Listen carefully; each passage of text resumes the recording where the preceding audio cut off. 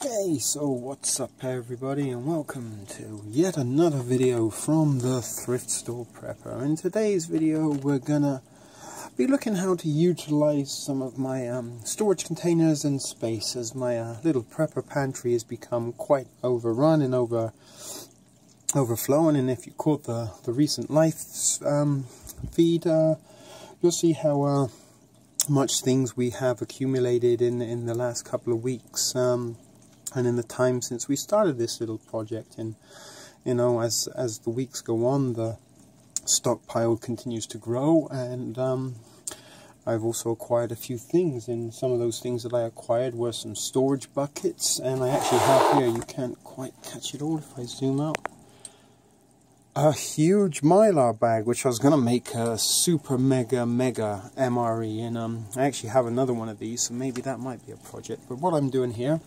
is I'm going to take some of my dried um, items like the oatmeal, the rice, the beans, the things that are going to kind of take a lot of water to cook and going to take a lot of preparation to cook. Then I'm going to take them out of my prepper pantry. I'm going to put them as you can probably already see they're, they're already in this, this bag. So um, all I'm going to do is we'll just get out everything that's in here and then we'll put it all back in and seal it up. So we have our powdered milk, we have some barley, we have our black beans, we have some couscous, uh, we have some rice, we have some orzo pasta, and the rest is just the oatmeal. we have three bags of uh, oatmeal here. So uh,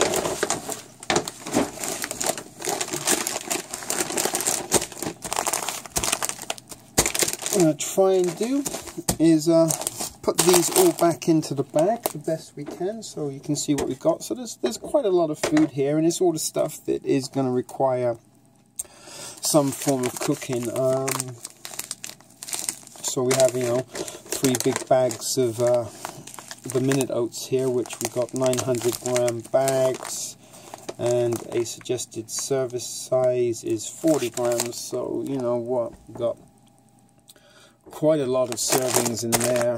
So, you know, one, two of those. So we're going to get those two in. I might leave one to the side because it's a little bit of a tight spot. So we're going to get our bag again.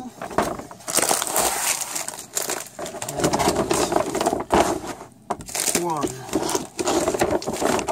two, and the only thing we're going to put in definitely to go with our oatmeal is our skin, you know, they're trying to make things as flat as they can and squash stuff into gaps to make the most of the. Now,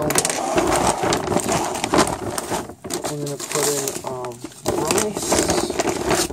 Just leave the bag flat and it goes in a lot easier. Um,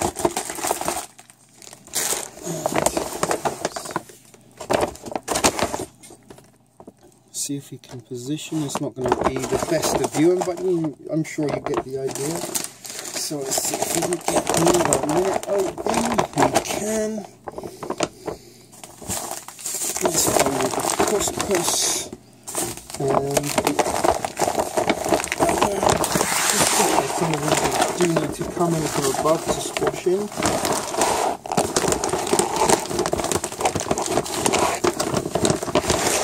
No, maybe not the couscous. Let's go with the beans. Okay, the beans in more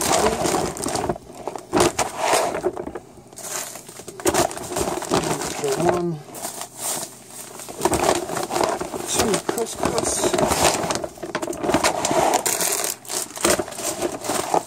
The barley and the orzo. Now we can seal that up. I don't know if you can still hear me or if I still got any viewers left.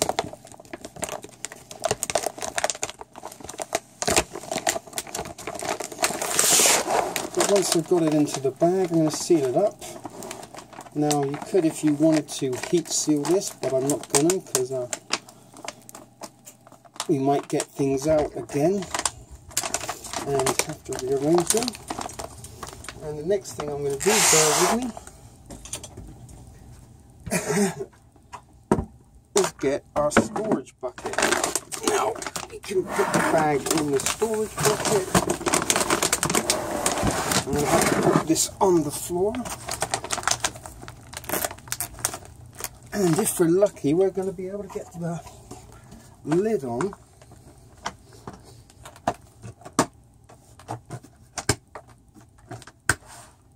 And seal this up.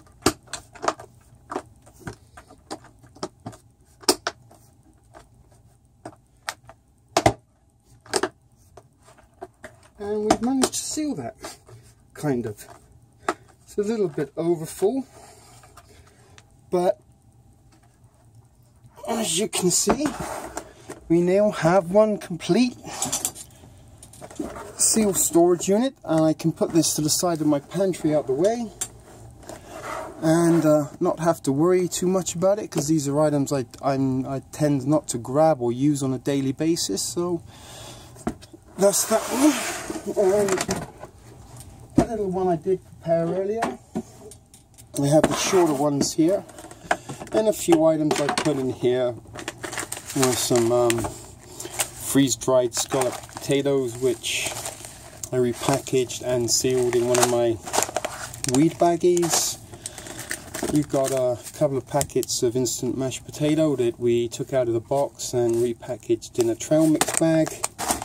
And the other things I have like some Jif lemon some Aunt Jemima's, I've put my vinegar in here, a couple of bags um, some peanut butter and a couple of cans that didn't quite fit elsewhere. So again. We're going to just put these items back in. And we're going to put on a lid. And seal it up. And there you go. We've uh, utilized two of my storage containers that I brought home from work. Um, we've taken some stuff out of our prepper pantry and freed up some room for the things that I use on a more daily and weekly basis and the stuff that I kind of replenish as I go. Um, and that's about it. So, not the best videos, um, but it was a video nonetheless. So, it's a shit video production for the Thrift Store Prepper. Thanks for watching.